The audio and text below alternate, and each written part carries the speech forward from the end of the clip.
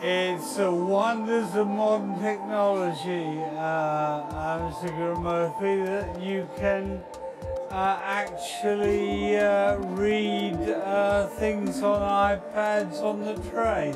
You know? Yeah, but the point Uh, I don't need to read them in the studio like Mr. like Mr. Corbyn, but uh, you know I do read them on the train, you know and the that's what we did that day. This And election and got and got the Brit- well, I'm- has I know been the point to distraction, hasn't it, for your job? mate.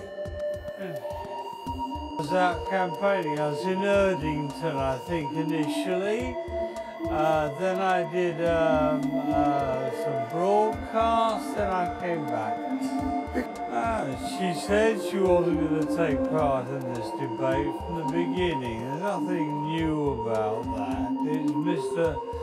Uh, Mr. Corbyn who changed his mind this morning.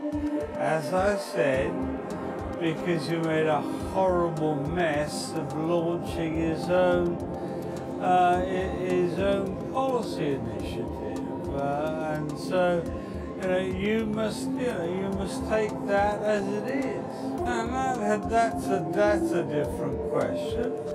It will take time. Yeah. We're not. I've, I've said it different any number of times. We're not going to slam. We're not.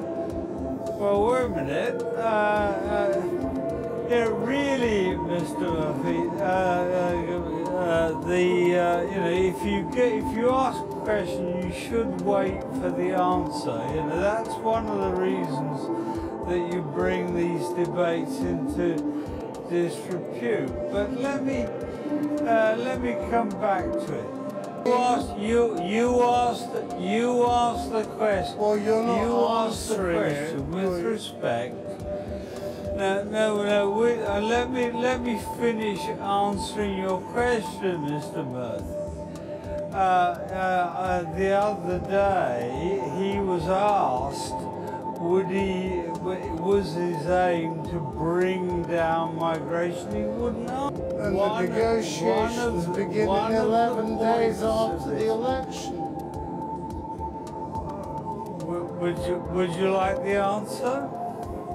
Uh, one of the points of this election is to reinforce Theresa May's hand. So 11 days after this election is over, when she goes, if she's elected Prime Minister, you've made some points about um, about uh, surveys today.